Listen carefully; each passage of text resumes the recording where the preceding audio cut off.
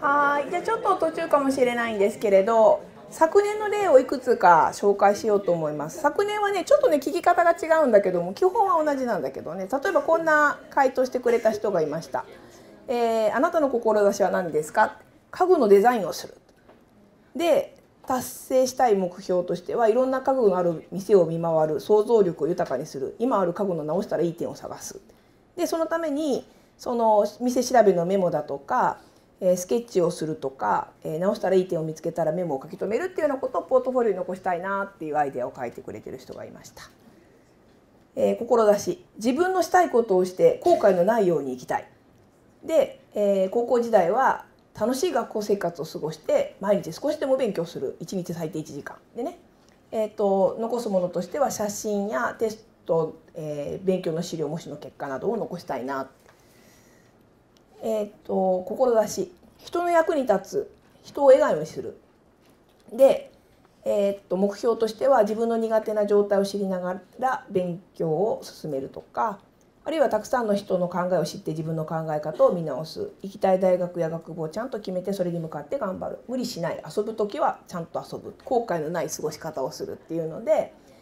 えっと、もしの結果とか興味のある学部の資料のほか楽しかった思い出やスケジュールなども残したいなっていうようなアイデアを書いてくれてる人もいました。えー、これも素敵ですね、えー、聞く人の感情を変化させ生きる源となるような音楽を作り発信したいもしくは音楽を作る上で大切なことを学び将来音楽を作っていく人を育成したい人の感性に考慮した新しいジャンル音楽を作る。ね、でえーと、大学のそのもう進学したいね大学があるのでその大学に通れるかなっていうので模試の結果などを収納するとか、えー、自らの音楽活動を続け、えー、自分の音源を収納する。人間関係を学び複雑な心情などを理解し想像できる人間になるために日記など日々の記録を残したいっていうようなことを書いてくれてる人もいました。えー、志自分の納得のいく仕事に就く。で高校時代に、まあ、具体的に何かまだわからないから高校時代に将来自分のやりたいことを見つける。でそのために興味を持ったことには積極的に参加をしてポートフォリオにはさまざまな分野をの資料を集めたいね。これも素敵なんですが志長生きしたい。でそのためには高校時代で早寝早起き体を鍛える。えー、勉強する携帯やめる 本を読む。でね、えー、それぞれに対応して寝る時間と起きる時間を記録に残すとかライニングの時間を作って書き込むとか予定を立てて書き込むとかアンインストールするアプリを決めて書き込むとか読んだ本を記録すると、まあ、すごいユニークでいいでしょ？なんかなんかもちろんこう自分が大事にしたいなと思うことを主軸に自分の好きな目次を作ってもらえるといいなというふうに思いますね。で最後ちょっとだけ作り方のポイントを言っておきますと後で取捨選択もういらないものをね抜くのは後でいくらでもできるのでとりあえずはあるものを残したいものをどんどん残しておかれるといいかなと思います。で後から振り返った時にいつの資料だったかって結構分からなくなっちゃうので必ず日付と名前を書いておいてください。で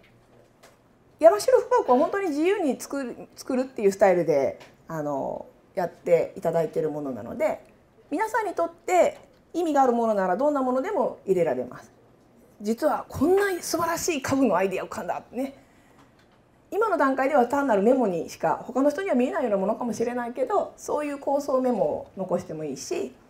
写真やね動画残しとくっていうのでもいいしあるいは何かこうやった時に友達やあの先生や保護者の方からこんなことを言ってもらったっていうようなあの嬉しかったコメントなどがあればそういうのを残しておいてもいいですね。で特に思い入れのある資料には、えー、ちょっとね資料に関する説明書きを付箋紙でひっつけとくとあ自分はこんな思いでこの資料残したんだなっていうことを後で振り返れるっていうこともあるかなと思います。で成績付けのね対象になるわけではないのでまずやっぱり楽しんで作ってもらえるといいなと思いますし今回のアンケートは提出してもらいますがそれ以外の資料をね無理やり見せなさいって言われることはない皆さん自身が大事にしたいなって思うファイルを作るっていうことを、えー、一番に考えてもらえるといいなというふうに思います。ただしねえーと、例えば進路指導の場面なんかで先生がこの資料をちょっと入れといてね面談で使うからねっていうようなことがあのあるかと思いますので、まあ、そういう場合はね先生の指示に従ってもらえたらと思います。で将来的にはひょっとしたら入試や就職活動で使おうかなっていうこともあるかと思うんですがでもまずは自分自身で残しておきたいもの見て楽しくなるもの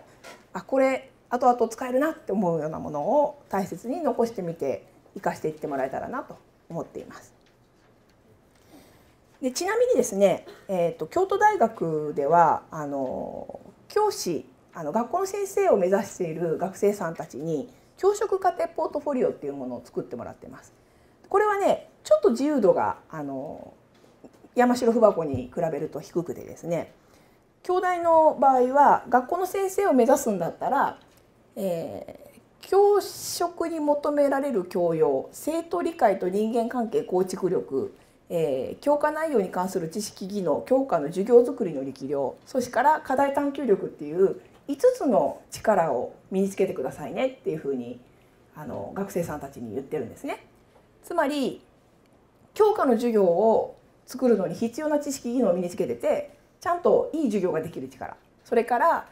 えー、教科外の活動を指導する時に知ってなきゃいけないことと人間関係作る力そして言われたことやるだけじゃなくって自分なりに課題を見つけて探求していけるような力そういう力を身につけるために、えー、っと具体的には例えば学級経営案とか指導案っていうね授業づくりのプランニングの資料とか学校で活動した時の記録などをこうポートフォリオに残してくださいねっていうふうに、えー、やってもらっています。で今日参加してくれている兄弟の学生さんもそういう形でポートフォリオ作りの経験を持っていますのでまたそういった側面からも、えー、質問を投げかけてもらってアドバイスもらえたらもらってもらえたらと思いますし、まあ、それ以外のことでもね、えー、学生生活楽しいですかとかですね。あの皆さんが関心があることは何でも答えてあげてねというふうに言ってありますのでこの後の交流の時間を生かしてもらえたらと思っています。はい。私のお話は以上です。どうも皆さんご清聴ありがとうございました。